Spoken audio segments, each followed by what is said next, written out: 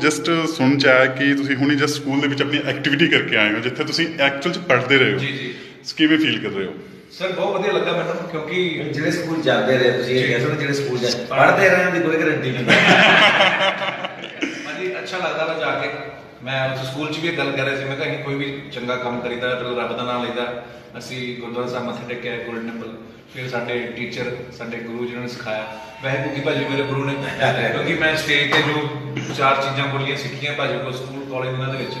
ਤੇ ਬਸ ਬੜਾ ਵਧੀਆ ਲੱਗਾ ਭਾਜੀ ਸਕੂਲ ਦੇ ਪੁਰਾਣੇ ਟੀਚਰਾਂ ਨੂੰ ਮਿਲ ਕੇ ਉਹ ਦਿਨ ਯਾਦ ਆਉਂਦੇ ਨੇ। ਅੱਜ ਬੱਚੇ ਜਿੱਦਾਂ ਬਹਿ ਕੇ ਸੁਣਦੇ ਪਏ ਸਾਡੀਆਂ ਗੱਲਾਂ ਅਸੀਂ ਵੀ ਉਦੋਂ ਸੁਣਦੇ ਹੁੰਦੇ ਹਾਂ। ਠੀਕ, ਤੁਹਾਡਾ- ਹਾਲਾਂਕਿ ਇਹ ਬੱਚੇ ਫਿਰ ਵੀ ਠੀਕ ਨੇ ਅਸੀਂ ਉਹਨਾਂ ਨੂੰ ਸ਼ੁਰੂ ਮੇਲੇ ਵਾਲੀਆਂ ਗੱਲਾਂ ਕਰਕੇ ਆਏ ਸਾਡੇ ਵੇਲੇ ਤੇ ਪੋਲੀਟੀਸ਼ੀਅਨ ਬੁਲਾ ਲੈਂਦੇ ਪਰ ਬਹੁਤ ਵਧੀਆ ਲੱਗਾ ਜੀ।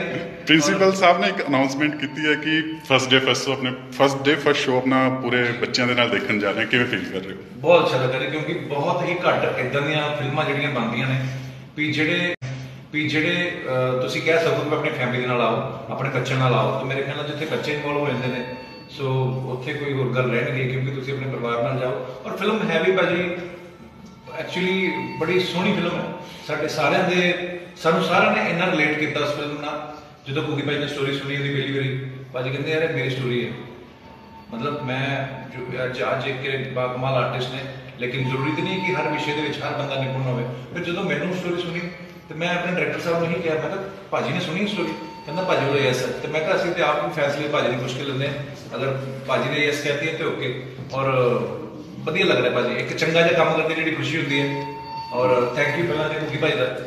ਔਰ ਇਹ ਜੈਨੂਅਲੀ ਮੈਂ ਗੱਲ ਕਰ ਰਿਹਾ ਕੁ- ਕੁਕੀ ਭਾਜੀ ਨੇ ਇਹ ਕੋਈ ਇਹ ਹਰ ਬੰਦਾ ਇਹ ਗੱਲ ਕਹਿੰਦਾ ਕਿ ਨਹੀਂ ਜੀ ਅਸੀਂ ਤੇ ਜੀ ਇਹ ਸਾਡੇ ਦਿਲ ਨਾਲ ਜੁੜੀ ਹੋਈ ਫਿਲਮ ਹੈ ਇਹ ਉਹ।